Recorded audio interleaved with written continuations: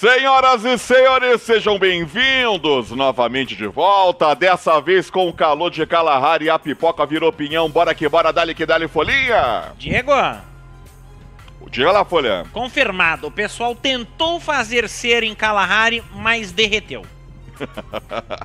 Brincadeiras à parte, então, distribuição inicial das Tranquila, equipes, né? Duas equipes brigando por Zona Azul? Não, a equipe da Não, God desceu para a. Pedra do Baú. A God cai ali em Pedra do Baú, desde a LBFF passada eles tinham Uhum. essa queda. Eles disputavam ela com o Corinthians quando jogavam contra, mas o Corinthians já não cai mais lá, tá tranquilo. Então a gente vê o Santos mantendo seu domínio de refinaria e a gente vai agora na cola da Team One. É, uma coisa que a gente falou ontem, Radão, a gente sempre fala da importância de achar duas barrets, de sair muito bem armado da Zona Azul, mas uma diferença e uma importância muito grande, olha aí, falando nela, pro late game, né, uma coisa que muda muito pro fim do jogo na Zona Azul é lança. Você consegue achar Sim. muita munição de lança é, no, pro final da partida. Excelente folhinha, acompanhamos então. Falando em Zona Azul, acompanhamos então o loot inicial da equipe da Team One. É aquela velha história, né? Zona Azul sai dali diferenciado e consegue tranquilamente todos os jogadores saírem com um capa 3 e um colete 3. Quase isso, folhinha. É, quase, quase. Porque Quase. em quatro, às vezes, você tem que. Mas assim, Sim. todo mundo sai pelo menos com colete 2, capa 2. Todo mundo sai bem. Mochila 2, muita gente de mochila 3, capa 3, colete 3 e duas barrets. Então é um começo muito forte. Dá uma olhada aí. Você viu, a gente vai olhar a distribuição de loot, já muito forte o loot da equipe da Team One. Exatamente, o general na câmera dele, que não tá tão bem assim, né? Não tem um capa nem um colete para realçar a máxima crocância. Alóquio com um capa 2, um colete 1 também é, precisa dar uma melhoradinha. Mas lembrando que são os momentos iniciais do jogo, agora atingimos aí 2 minutos e 25 no presente momento do tempo de Kalahari, então tá tudo certo ainda. É, tudo certo, tudo tranquilo. E a gente vê agora o nosso querido Fixa, o nosso general, que não é o general da God, porque a God tem o general, o general Fixa fazendo o seu loot, a God tranquilona e vamos ficar de olho, porque a, a saída da Team One pode passar por um caminho que cor, co- é, cruze rotação com a equipe da God. Vamos acompanhando então. Fúria na telinha para todos vocês. 3 minutos de partida, 12 equipes, todas as equipes em pé, 48 jogadores ainda. Então, nenhuma troca de tiro, nenhuma carícia, nenhum flerte aconteceu até agora no presente momento aqui nessa Kelly Harry, esse casal maravilhoso que dominou e conquistou os nossos coraçõezinhos, né? Seguimos também com Biel God, equipe da Fúria. Falamos muito da Fúria hoje, da excelente fase que a equipe se encontra no momento, Folha.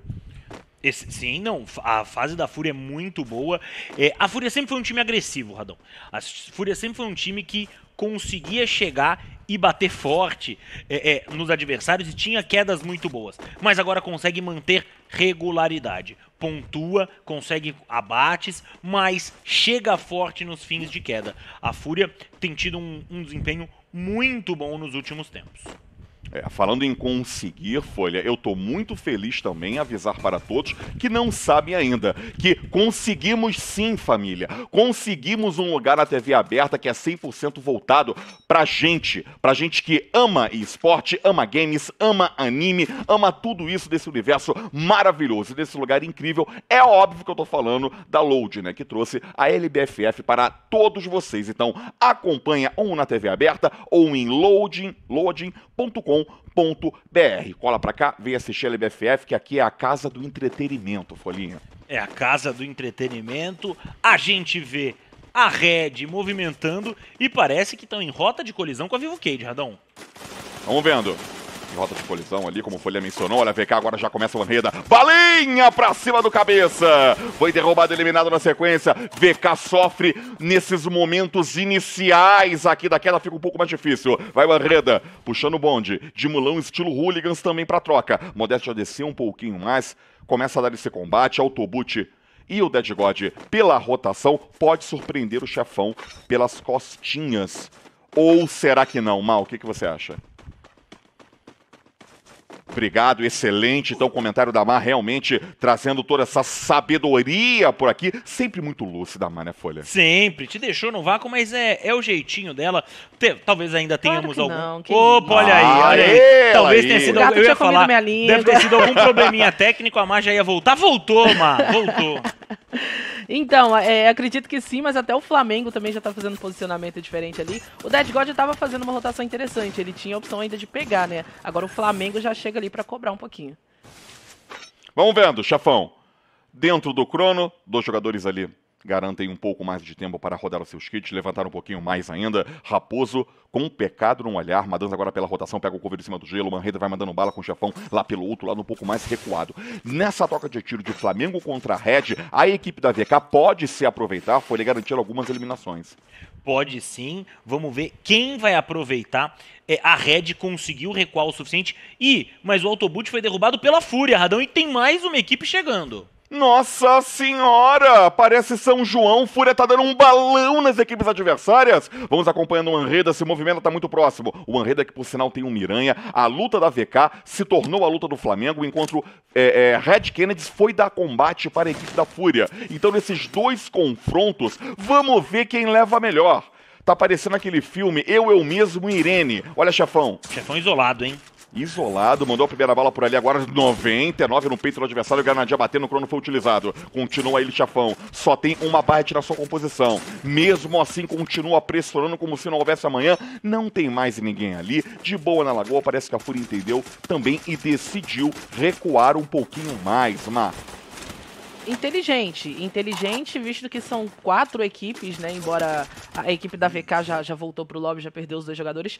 Mas, na verdade, falta um ainda. Dead então God você, sabendo que tem quatro jogadores, quatro equipes ali que podem é, é, aproveitar dessa trocação, não é tão fácil você ficar, não. É mais fácil você aplicar o vazar e segurar um pouquinho. Olha, chegou agora a TK, parceiro do Dead God. Vamos ver quem leva melhor. Levantou o gelinho, tá de double vector na curta. É muito complicado de lidar com ele. Fiquei um pouco agora preocupado, Folha. Dead God é o deus da morte. Como que ele morre no Free Fire, então? É, ele tem um, um adversário fortíssimo aí, né, no campeonato. Hum, Que é o God Kill. ok. Porque Seria o Kratos, ele. É, quando Perfeito. junto God Kill com Dead God, é uma combinação explosiva. Agora, Radão, Dead God fez o que precisava, né? Sua equipe já não tinha mais ninguém, tava sozinho, consegue derrubar o Raposo, garante pelo menos um pontinho pra VK. VK cai em último lugar, mas não sai zerada da queda. Perfeito. Em 7 minutos e meio ali mais ou menos, Lopes então, a equipe da Vivo Cage cai na 12ª colocação, o que é um início de Kalahari bem fraco para é, é, os cavaleiros, né?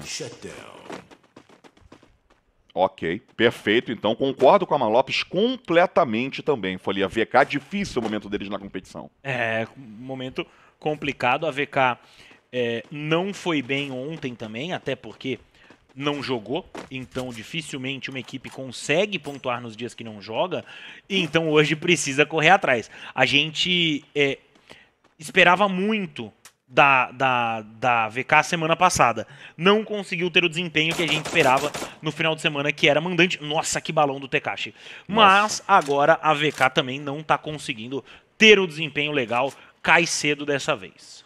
Olha, porcão, MP5, tá a MP5X, né? Com aquela barrinha excepcional deles. Fura posiciona dentro de uma casa, Flamengo na outra. O posicionamento do Tecache é o diferencial, na minha opinião, da equipe do Flamengo. Folhinha pode trabalhar um flanco e surpreender, talvez para aquele próprio janelão que estava por ali. Sim, vai depender da jogada da Fúria. Se a Fúria perceber o time separado e ruxar o jogador que tá sozinho, complica demais a vida ah, do Flamengo. Se a Fúria acabar vacilando e for pro aberto, o Flamengo com jogadores em duas casas pode surpreender a equipe.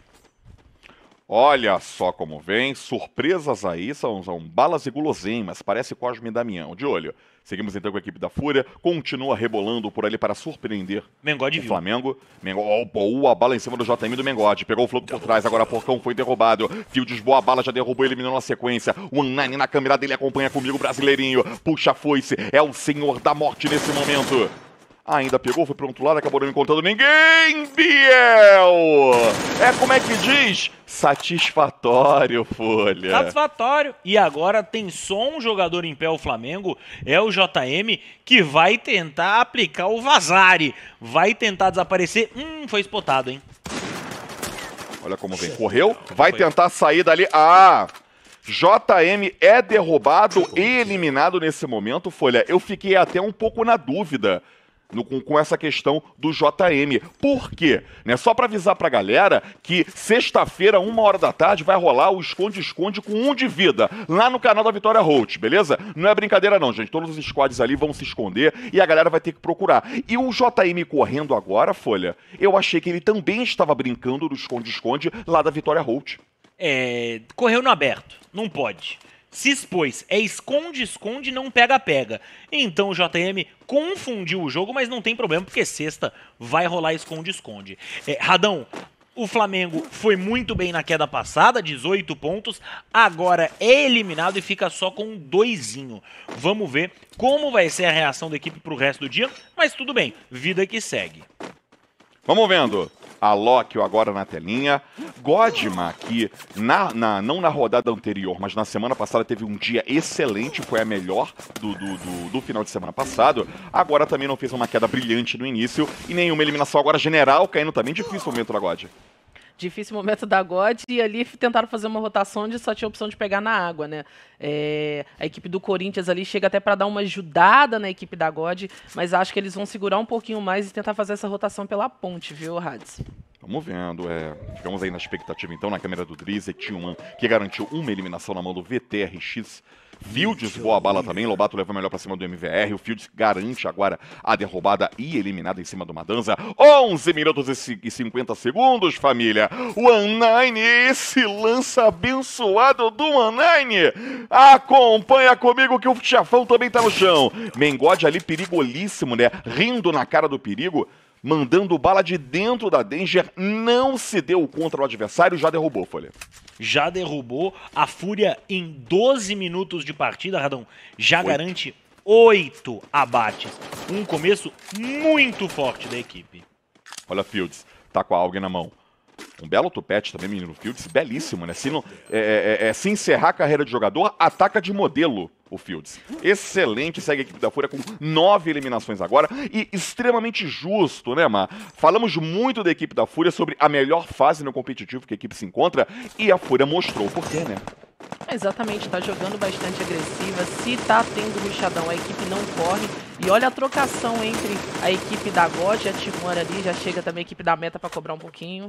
Tá delicada a situação vai cobrar pedágio, né, Nicolas ali, que é a equipe da meta. Olha, Cauê voltou. Detalhe, trazendo essa informação para vocês. Ele que não, não jogou, jogou, a, primeira queda. a primeira queda, volta. É, agora o Hades, tem uma voz é abençoada, é frio, hein? Né? Falou o nome do Cauê, o meninão, plau, caiu. Nossa, eu, eu tô amaldiçoado. Peço perdão, desculpa pelo vacilo, Cauê, vacilo.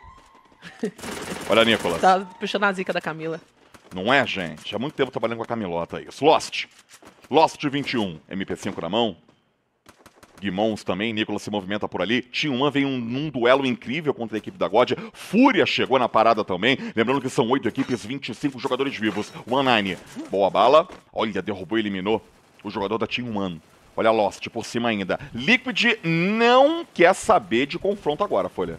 Não, agora vai recuar um pouquinho, não tem por que comprar essa briga. O Santos tem a vantagem ali na parte de cima do morro e tem jogador do Corinthians embaixo. Então o Santos está distraído com outro adversário. Bom para Team Liquid, God a batida. Olha, Juan, continua pressionando de carapina. Arma que sofreu um pequeno nerf também nesta última atualização, continua sendo viável. Guimons com a SV Deus leva melhor para cima do Luking, derruba o jogador adversário. Na casinha segue metagame. Olha os Miranhas como vão trabalhando. O Online, dois jogadores da Fúria pegaram um pouco mais centralizados na safe. Field ficou parado dentro do crono, só garantindo, realçando essa tranquilidade. Vai tomar o dolorido, Guimons! Que que é isso, bebê? Passarnica, o Guimons falou ali pro adversário. Chegou a Biel, balaço pra cima dele, levantou o gelinho muito rápido. Guimons agora se reposiciona, Nicolas completamente no aberto tomou bastante dano. Field, boa bala do Field pra cima do Guimons, garantindo mais uma boa derrubada. Olha Mengode, olha o que tá fazendo o Mengode, enfileira pra ele que ele gosta. Balaço de Double Barret, a pressão é insana. 13, eu disse 13 eliminações, Malopes. 14. Ok, Só pra corrigir um pouquinho. E ainda falta um jogador do Santos que acredito que ou deve tentar segurar ali, ou vai dar o kill pro Gás. Já tá Estão numa ouvindo? situação bem delicada. Eu, o que, Folha? Vai, faz a fila, vem, um de cada vez. Eita. Mengode chamou na musiquinha. Passou o carro. Meu Deus! Oh, a Nine! Três no bolso! A equipe da Fúria tem 20 eliminações agora. Me Bateu, pergunto qual é o recorde, Malopes.